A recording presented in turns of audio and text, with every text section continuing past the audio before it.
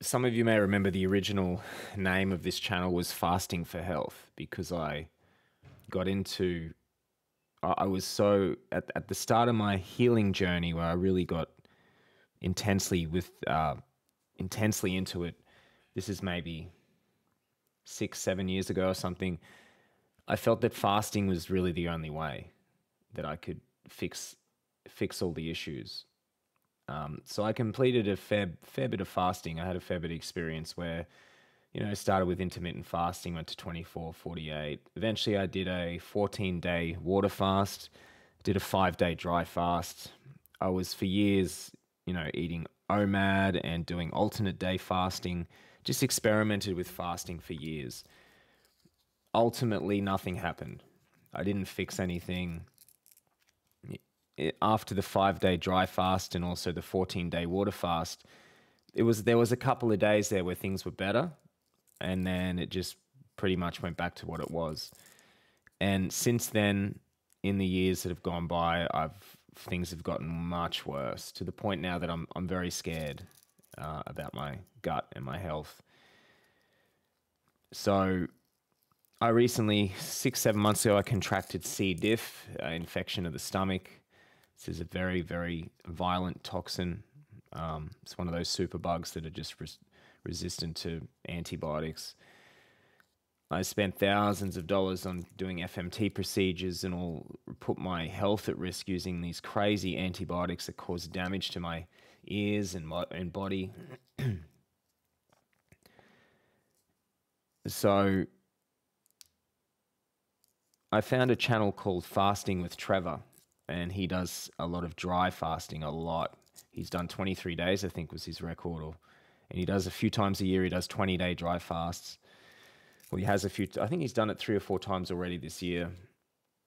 And what he says is that usually it's at around 14, 15 days that you start to see healing on a on a dry fast, especially healing pretty serious things. So I don't really have many options left at this point. And I'm kind of getting desperate. I'm getting very scared. So my decision is to try to work myself up to a very long dry fast.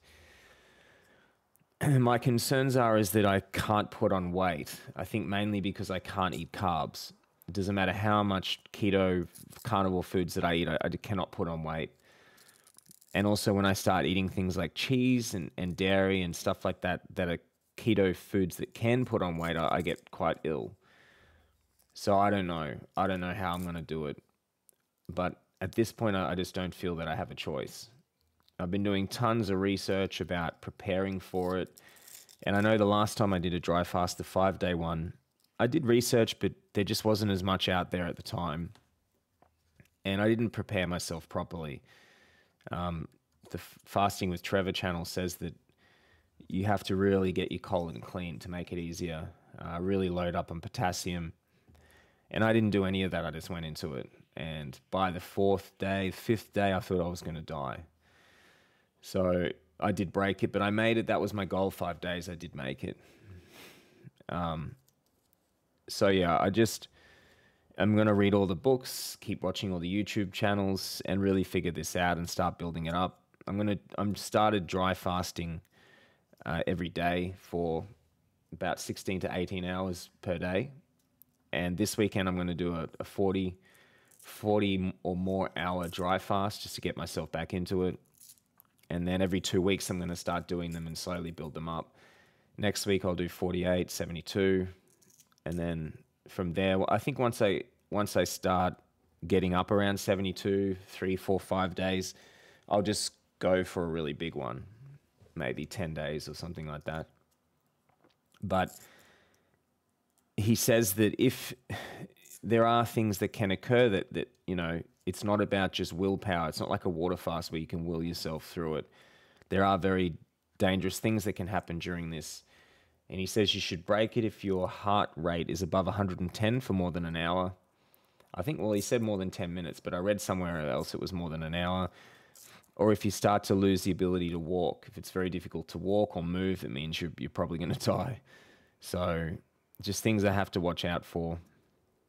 The things after I did my 14 day fast, I noticed that fasting affected me a lot different after that, where I used to sleep really well when I was fasting. But during the 14 day fast, that stopped happening. And now, whenever I fast, my body just keeps me awake. I sleep a couple of hours a night, if that. And it's just a nightmare. It's so boring. But I understand that that's all you really need to do is heal to heal is to be bored. But it is one of the most difficult components of fasting for me is is just this just the the nothingness, the boredom, the lack of sleep, because I can't stand not getting sleep. But at this point, I really don't feel I have many other options left to try to at least cure this C. diff. But fasting with Trevor was saying that he, he pretty much cured everything with it. So I'm hoping I can fix the, the IBS, the, the histamine intolerance, all that stuff. So it's just at this point about me gradually building up the hours, and then eventually I'll do as long as possible. But of course, I'll keep you all updated on, on how it's going. Each fast, well, each significant fast that I do, um, I will give an update and let you know what happens. And I pray that that I can fix this stuff. And if if I end up if this ends up being the answer that fixes it, then I'm going to really dedicate the rest of my life to, to spreading this this word just because I always said that if I can fix these health issues, then I need to share with others how I did it because it's been such a nightmare for me for so long. But anyway, guys, um, thank you for being there and, and we'll chat soon. Cheers.